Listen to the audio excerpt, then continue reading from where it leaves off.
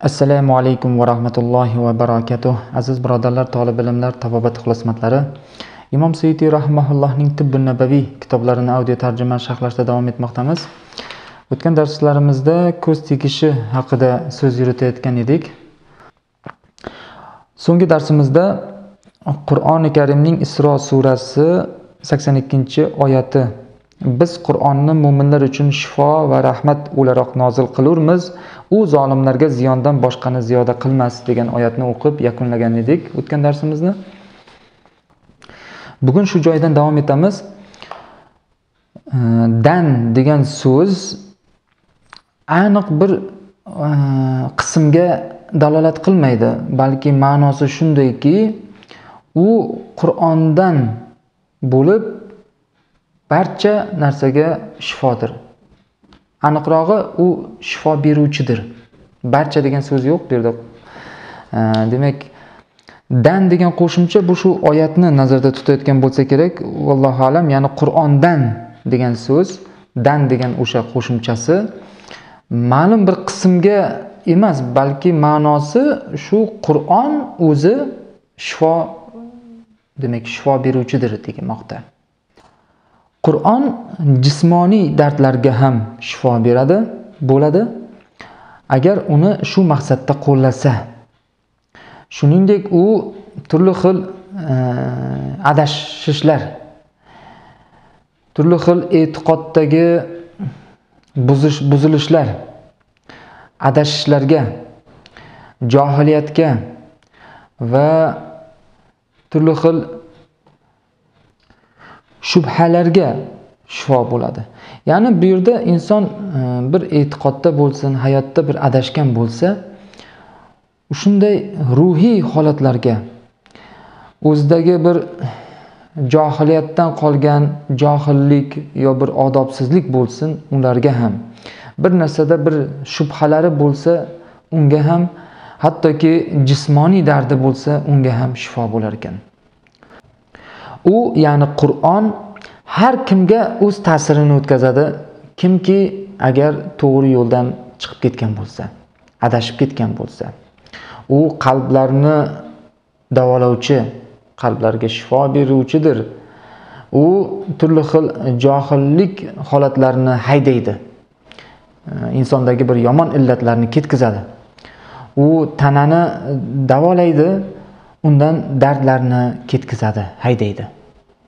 Sen shuni anglashing kerakki, tanangning sihat salomatligi qalbning salomatligi bilandir.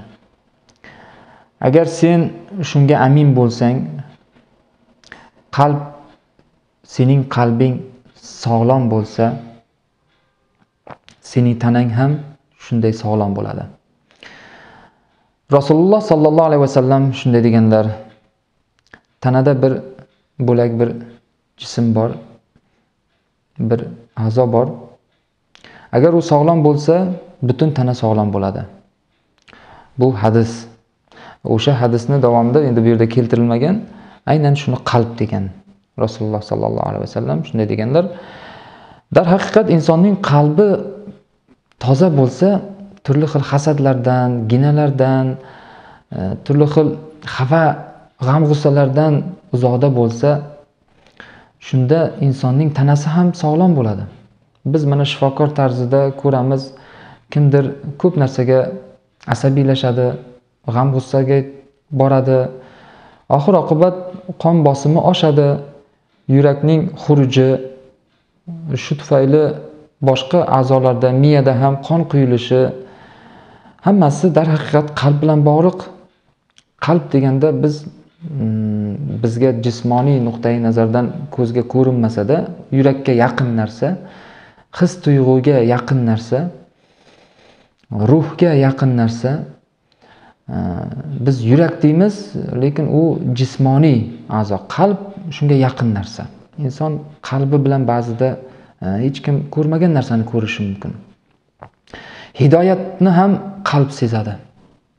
Shunday ekan, bu qalbga juda e'tibor berishimiz kerak ekan. Muallif davom etadi. Biz Qur'on oyatlarini o'qishlik, shifo ya'ni dori bir vositasi kabi ekanligini muhokama qilgan edik allaqachon o'tgan darsimizda deydi. Ya'ni oldinroq. Oysha roziyallohu anhu aytadilar. Har kim rasululloh sollallohu alayhi vasallamning ahlidan bo'lgan kishilar u zotning yonlariga kelganlarida biror bir dard bilan shikoyat qilganlarida rasululloh sollallohu alayhi vasallam e, qur'oni karimning bir yuz o'n uch bir yuz o'n to'rt oxirgi ikki surasini o'qir edilar. Shu mm, bemorlarning yonida o'qirdilar deydi. Muovizatayn deydi bilamiz. Mana shu ushbu ikki sura e, ko'p dardlarda o'qish e, odat tusiga kirgan. Bir hadis keltirilgan daroqutniydan unda aytiladiki ibn abbosning gaplari keltiriladiki unda rasululloh sollallohu alayhi vasallam aytdilarki har kim tish og'rig'idan ozor chekayotgan bo'lsa o'sha joyiga tishiga barmog'i bilan e, ushlab ya'ni o'shanga barmog'i bilan tegizib ushbu oyatni o'qisin deydilar. E, bu yerda qur'oni karimning oltinchi surasi anom anom surasi to'qson sakkizinchi oyat keltiriladi. U sizlarni bir jondan yaratgan zotdir. Bas u jon qaror topadigan joy ona rahmida yoki saqlab qo'yiladigan joy ota sulbidadir. Yaxshi anglaydiganlar uchun oyat belgilarini batafsil qilib qo'yganmiz deydi alloh taolo. Mana hadisga ko'ra ushbu oyatni o'qib tishga barmoqni tegizib o'qilsa inshaalloh shifo topadi. Og'riqlar qoladi. Albatta bu yerda sabablarni ham ko'rish kerak. Bu degani tish doktoriga stomatologga borish kerak emas degani emas. Albatta tishni toza ozoda tutish kerak va stomatolog ko'rigida bo'lish kerak. Shu bilan birga mana shunday holatda hatto qur'oni karim oyatlari ham foyda berishi haqida so'z ketmoqda.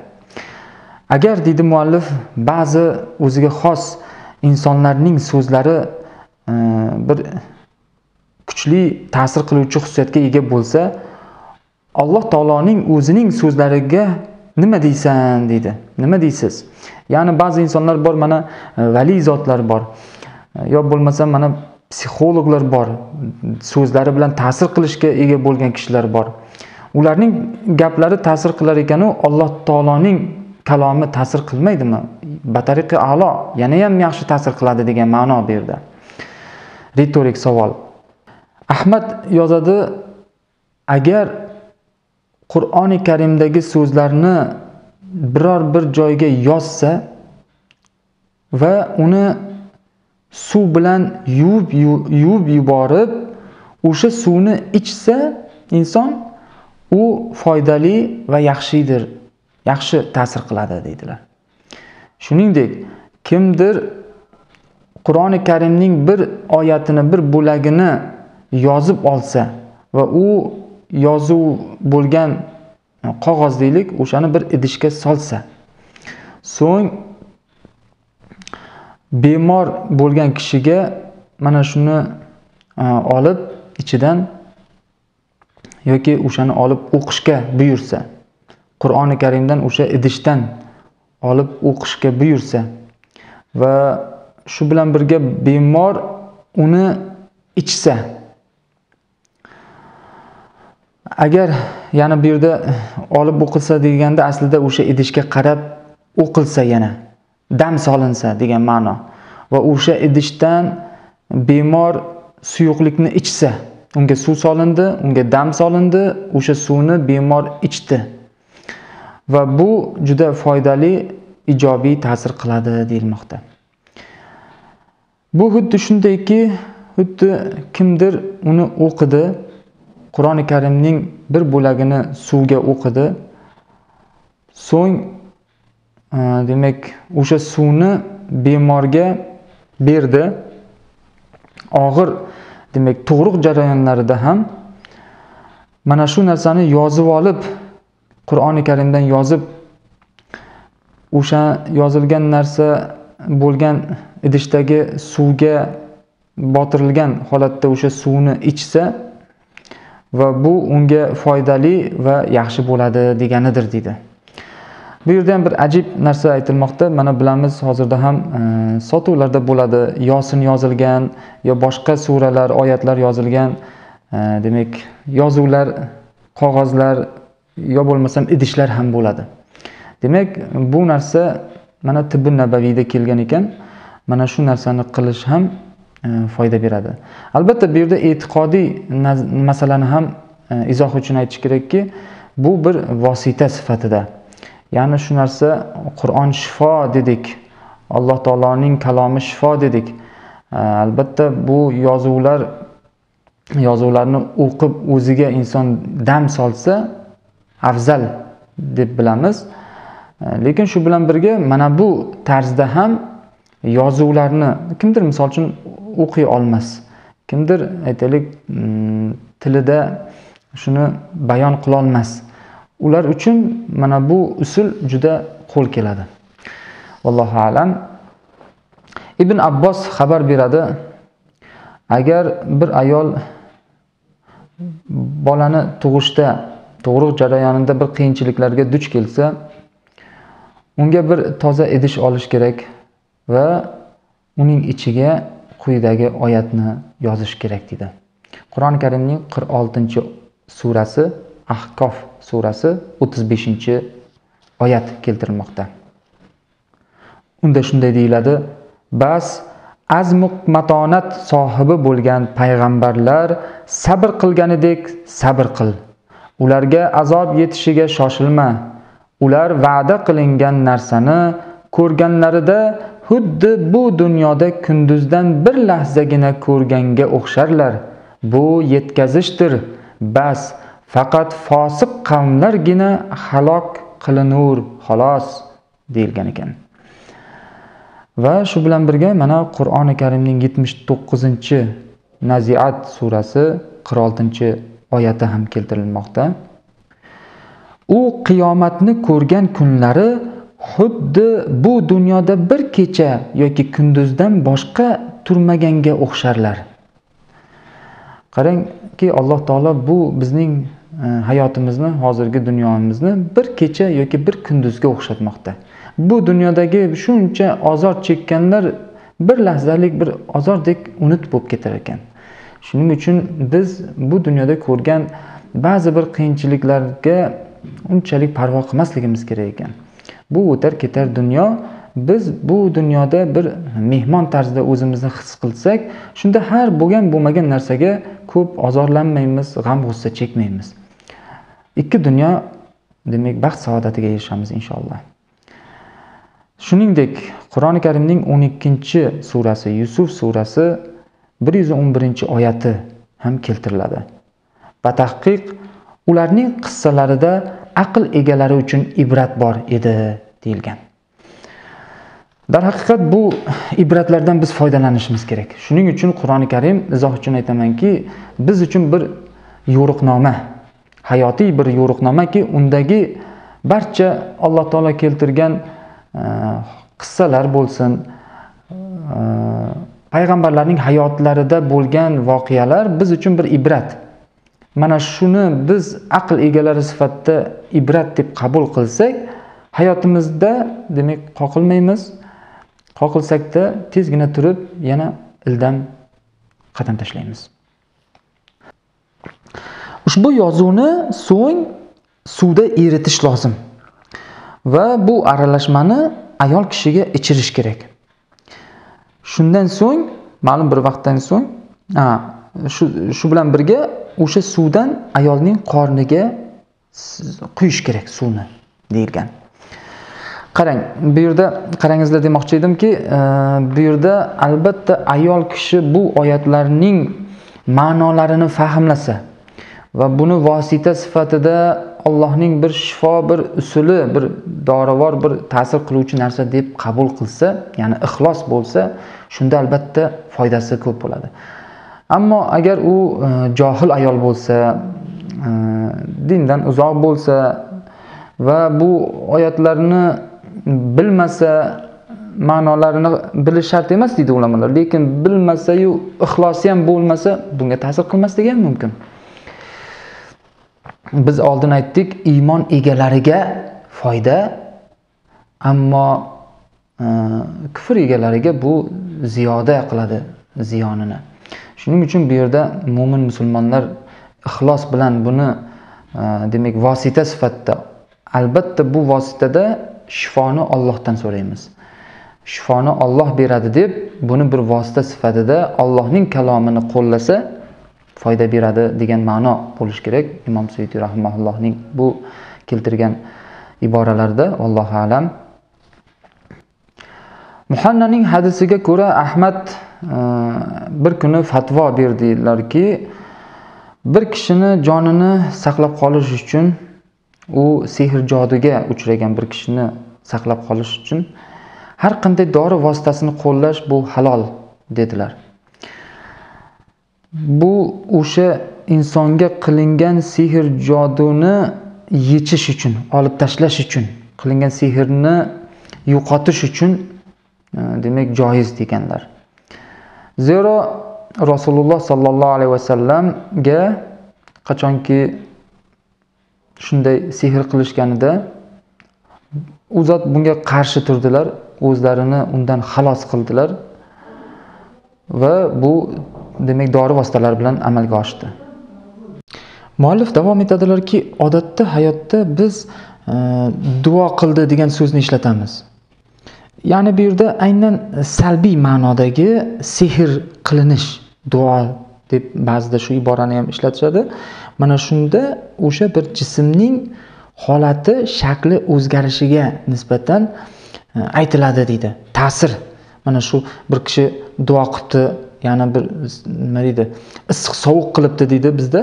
Mana shu issiq sovuq qilibdi deganda sehr qilibdi yoki bir mm, kalimalarni yozibdida o'shanga bir issiq sovuq qilibdi deganda o'shaning mm, demak ta'siri yuzasidan shaklning o'zgarishi tushuniladi deydi. Ya'ni bu yerda materialistik nuqtai nazardan jismiy jism, jismning o'zgarishiga ta'sir haqida e, gap ketmoqda. E, shuningdek qachonki biz seni nima sehrlab qo'ydi deganimizda biz odatda seni nima o'zgartirdi degan e, ma'noda so'raymiz deydi. Ya'ni mana shunda insonga demak e, tanasida ham qaysi bir darajada o'zgarish bo'ladi? Mana shu sehr tufayli. Demak sehr bor narsa bu narsa demak insonga ta'sir qiladi. Bu ham ollohning izni bilan bo'ladi albatta. Mana davomida mana shunday mm, dam solish emas balki o'shanaqa bir salbiy duo qilib qo'yish zaklinaniya deydi rus tilida mana shu so'z issiq sovuq qilibdi deb o'zimizga tarjima qilsak mana shu issiq sovuq qilibdi deyilganda odatda ular shunday bir holatni tavsiflaydiki qachonki inson bir narsaga o'ta aqldan ozadi aldangan bo'ladi garchi ikkinchi tomondan inson unday bo'lmaydi bu yerda yana shunday narsa aytilyaptiki inson qanchalik aqlli bo'lmasin unga sehr ta'sir qilsa u biroz mana shunday jinni sifat bo'ladi aqldan ozadi. Mana shu joyi ham e, muhimki e, ya'ni inson qanchalik aql doirasi keng bo'lmasin sehr baribir unga ta'sir qilar ekan. Shunday qilib e, mana shunday e, issiq sovuq yoki mana shunday sehr qilishlar ba'zida Э, turli xil amulet deyilgan rus tilida bu yerda xuddi tumorga o'xshagan narsalar bilan bog'liq bo'ladi. Shunday bir aytaylik sehr qilingan bo'ladiki bir narsalarni ichiga xuddi she'rga o'xshab e, yozuvlar yoziladi va ular tugun qilinadi. Mana shunday tugun qilinishlar e, tuyib qo'yibdi tugun qilib qo'yibdi deydi xalqda e, unga sehr qilgan bo'ladi. Ba'zida E, so'zlar bilan ya'ni yo tugun holatida yo she'r holatida yo ma'lum bir so'zlarning ketma ketligini yozilgan bo'ladiki ular bilan e, o'sha insonni demak sehr qilgan bo'ladi. Unga kim sehr qilgan bo'lsa uning so'zlari ham yozilishi mumkin. Yo bo'lmasam shunday so'zlarki u yerda yozilgan so'zlar. E, u orqali u insonning tanasini sehrlangan kishining tanasiga ta'sir vositasi sifatida qo'llaniladi. Yoki uning yuragiga yo bo'lmasam bilvosita uning aqliga ta'sir o'tkaziladi. Aslida olib qaralganda bu vositalar bilan insonni hattoki o'ldirish mumkin. Uni bir dardga taqab qo'yish bir dardga olib borib qo'yish mumkin. Yo bo'lmasam bir ayoldan ajratib qo'yish mumkin. Sehr darhaqiqat erkak va ayolning o'rtasida turib ularni bir biriga nisbatan nafrat qo'zg'atishi mumkin ularning o'rtalaridagi muhabbatni buzib yuborishi mumkin ekan. Oysha roziyallohu anho aytadilar men e, bir vaqt rasululloh sollallohu alayhi vasallamni shunday tasavvur qildimki go'yoki ular bir narsani aslida qilmagan narsani qilgandek qildim. Shunday tasavvur qildim. Allohdan bu narsadan panoh so'rayman deydi demak e, ba'zida shunday narsa e, bo'lishi mumkin ekanki inson qilmaydigan narsani qilishi mumkin. Mana shu sehrni ta'sirida bo'lishi mumkin ekan. Bu shunchaki e, oysha onamizdan bo'lgan bir hayollarga kelgan narsa. Bir kuni ahmad aytadilar tabiblar shu narsani ta'kidlashadiki insonning ichiga hech narsa kira olmaydi deydilar. Bunda yer yuzidagi har qanday jonzotni aytishadi. Shunda u kishi aytdiki bunga javoban bu bo'lmagan gap. Chunki rasululloh sollallohu alayhi vasallam aytganlarki darhaqiqat insonning tanasida nopok bir kuch bor. Bir kuch borki u qonda insonning tanasining qonida yuradi. Bu yerda izoh uchun aytish kerakki o'sha nopok bir kuch deyilishidan maqsad bu yerda shayton. Bu yerda aytilmoqdaki shayton insonning qon tomirida yuradi degan hadis kelmoqda. Biroq men ushbu kitob kitobning muallifi deydilar imom suyutiy shuni ta'kidlaymanki jinlarning tanasi e, his qilib bo'lmaydigan tana. Biz ko'ra olmaydigan his qilolmaydigan tanaki va bo'lishi mumkin emaski ularning ya'ni jinlarning e, suyuqligi o'sha qon suyuqligi deylik aslida ularda bizga o'xshagan qon emasdir. Ular chunki yaratilishda bizga o'xshash emas. Ularning suyuqligi deb aytmoqdalar muallif. Insonning tabiatidagi xuddi shunday suyuqlik bilan aralashsa bu bo'lishi mumkin emas narsa. Bu insonning tanasida qon bilan boshqa bir suyuqliklar shilliqlar aralashganidek jinning holati bilan insonning demak suyuqligi aralashmaydi demoqdalar. Ya'ni bu yerda shunga izoh keltirish kerakki jin bu yerda insonning e, ichida bo'lgan qon tomirini ichida qon bilan aralashgan holda yurishi mumkin emasligini aytmoqdalar imom suyuti rahimaulloh hozir bunga yana qo'shimcha sharh beramiz. Davomini oxirigacha yetkazsak qachonki umar haqida abu musoga xabar yetib kelganda u kishi ayol kishini e, yoniga kirdilar. Uning qornida o'sha nopok narsa bor edi shayton bor edi.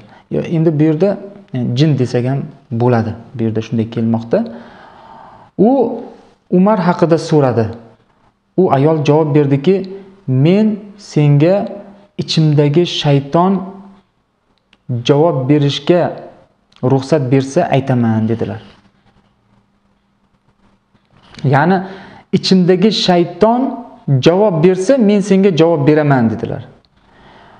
Qachonki shayton kelganida u ayol unga savol berdi va u javob berdi. Qachonki men uni tark etdim u sadaqa sifatida tuyalarni tayyorlab turgan edi deganlar. Buni qanday tushunish mumkin? Ya'ni yuqoridagini bir sharhlaymiz va bu holatni sharhlaymiz. Yuqorida aytildiki rasululloh alayhissalom o'sha shaytonning bizning qon e, ichida singib yurishini aytdilar. Lekin imom suyuti aytmoqdalarki bu yerda jin haqida aytmoqdalar. Endi shayton jin ko'rinishida ham bo'lishi mumkin. Ya'ni jinlarning shaytoni. Va insonlarning ham shaytoni bor dedik deymiz. Shaytonning o'zini olsak iblisni u darhaqiqat insonning qonida yurishi mumkin. Bu narsa hadisda aytildi. Lekin jin shaytonni olsak imom suyuti aytyaptiki yo'q u insonning ichida qon qonida yurmaydi. Aralashib yurmaydi jin. Demoqda. Jinning tabiati boshqa. Shu jihatdan buni shunday tushunish kerakki bu yerda jinning o'zi insonning ichida qonida yurmaydi shayton yurishi mumkin. Jin shayton esa insonga tegdi degan iborani ishlatamiz. Ya'ni insonning tanasida ma'lum bir aurani ichida bo'ladi. Endi lafzda biz e, jin insonning ichiga kirdi degan lafzni qo'llaymiz ba'zida. Э, lekin undan ko'ra hozirda ko'proq biz jin tegdi degan iborani qo'llaymiz kirdi degan iborani o'rniga. Mana shu e, nozik joylari mana shu yerda. E, endi bu yerda aytilmoqdaki shu jin insonning qon tomirida yurmaydi. Shu nozik joyi. Endi umar haqida kelsak bu yerda e, endi bu holatda esa shaytonmidi desa bu yerda endi qornidagi jin shayton haqida so'z ketmoqda va u javob beryaptiki men javob beraman qachonki ichimdagi e, demak jin yoki e, o'sha shayton javob bersa. Bu yerda endi shayton odatda gapiradigan bo'lsa bu jin shayton bo'ladi. Bu holatda e, demak haqiqiy jin haqiqiy jin shayton va u Э, unga savol bergan jin javob bergan. Javob berganki men uni tark etganimda deb e, bu yerda umar roziyallohu anhuni nazarda tutyapti. Vallohu alam men shunday tushundimki e, ya'ni umar roziyallohu anhu sadaqa sifatida tuyalarni tayyorlagandan so'ng ya'ni sadaqa qilishga ahd qilib sadaqa qilganlar shundan keyin jin uni tark etgan. Ya'ni sadaqa raddi balo deb shunga ham aytsa kerak. E, sadaqa qilingandan keyin unga tegishi mumkin bo'lgan yomonliklar ketadi. Jin ham uni tark etadi tark etadi. Demak balki bu yerda ayol kishini nazarda tutgandir. Uni demak tark etgan qachonki mm, endi bu yerda erkak kishi haqida gap ketyapti. U deb erkak kishi bir qancha tuyalarni sadaqaga tayyorlaganda. Shuning uchun bu yerda ko'proq umar roziyallohu anhu deb tushunyapman. E, ular demak sadaqa sifatida tuyalarni tayyorlagandan keyin shayton demak uni xoli qo'ygan. Mana bu yerda eh, mana shu narsani tushunib olishimiz kerak. Yuqoridagi eh, rasululloh alayhissalom aytgani eh, qonida singib yuradi deganda bu shaytonning o'zini nazarda tutilgan deb tushunmoqdaman. Mana bu ikkinchi demak rivoyatda umar roziyallohu anhu bilan bog'liq bo'lgan joyda bu yerda ham ham shaytonning o'zi bo'lishi mumkin. Ichiga kirgan degan ibora qo'llanilyapti e, lekin javob berishiga qaraganda odatda jin shayton bo'lishi mumkin. Vallohu alam buni yana e, demak ahli ilmlardan e, muhokama qilib so'rab bilamiz. Bu rivoyatlarni demak asl manbalardan topib ularning sharhlarini ulamolarning qanday bunga sharh berganlarini izlab ko'rishga harakat qilamiz. Darsimiz biroz cho'zilib ketdi. Ushbu darsni yana ikkiga bo'lishni istamadik. Shu bilan yakunlashni niyat qilgan edik. Bir yo'la uchinchi ushbu qismi e, ko'z tegishning uchinchi qismi shu bilan yakunlandi. Navbatdagi darsimiz aynan tumor taqish bo'ladi inshaalloh keyingi darsda. Xato kamchiliklar bo'lsa kaminadan yutuqlar bo'lsa allohning inoyatidan e, keyingi darsda g'oyibona ko'rishguncha xayr deb qolamiz. Assalomu alaykum va rahmatullohi va barakatuh.